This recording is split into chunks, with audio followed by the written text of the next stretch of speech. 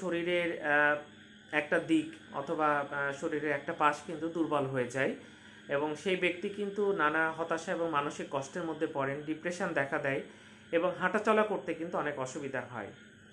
ইনাদের যে সমস্যা হয় ব্রেনের স্ট্রোকের ফলে আমরা জানি যে ব্রেনের কিছু অংশ নষ্ট হয়ে যায় এবং সেই অংশের কাজ কিন্তু আর আগের মতো এটা হওয়ার কোনো ওষুধ কিন্তু এখন পর্যন্ত আবিষ্কার হয়নি।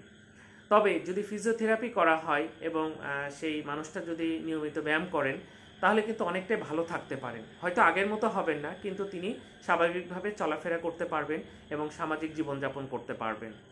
কিন্তু আমাদের দেশে যেটা হয় পেশেন্টের যখন স্ট্রোকের ফলে এক পাশে দুর্বল হয়ে যায়, তিনি না, একের পর এক ডাক্তার পরিবর্তন করতে থাকেন এবং ভাবেন যে ওষুধের ফলেই এই তার এক পাশের যে দুর্বলতা বা হাঁটাচলা করতে যে সমস্যা হচ্ছে, সেটা ভালো হয়ে যাবে। আসলে এটা সম্ভব না। এটা ব্যায়ামের মাধ্যমে বা ফিজিওথেরাপির মাধ্যমে কিন্তু আপনি উপকার পেতে পারেন। তবে একজন নিউরোলজিস্টকে অবশ্যই দেখাতে হবে এই ক্ষেত্রে। কারণ আপনার স্ট্রোকের কারণটা উনি নির- নির- নির্ণয় করবেন এবং যে কেন স্ট্রোক হয়েছিল এবং ভবিষ্যতে যেন সেই কারণে আবার স্ট্রোক না হয় সেটা উনি প্রতিরোধ করবেন।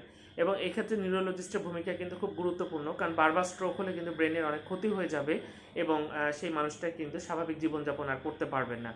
তাই স্ট্রোক হলে অবশ্যই একজন নিউরোলজিস্ট দেখাবেন তিনি যেভাবে পরামর্শ দেন সেভাবে শুনতে হবে আপনাকে এবং তিনি কিছু ওষুধ লিখে দিবেন, যে ওষুধের পাশে লেখা থাকে চলবে, আপনারা দয়া করে এটা নিজেরা বন্ধ করবেন এবং একজন নিউরোলজিস্ট বললেই কেবলমাত্র সেটা বন্ধ করবেন। আশা করি সবাই সচেতন হবেন, কারণ স্ট্রোকের অনেক রোগী আমরা দেখতে পাই এবং স্ট্রোকের রোগীরা যাতে ভালো থাকে, এই জন্য আশা করি সবাই পরামর্শগুলো শুনবেন। ধন্যবাদ সবাইকে।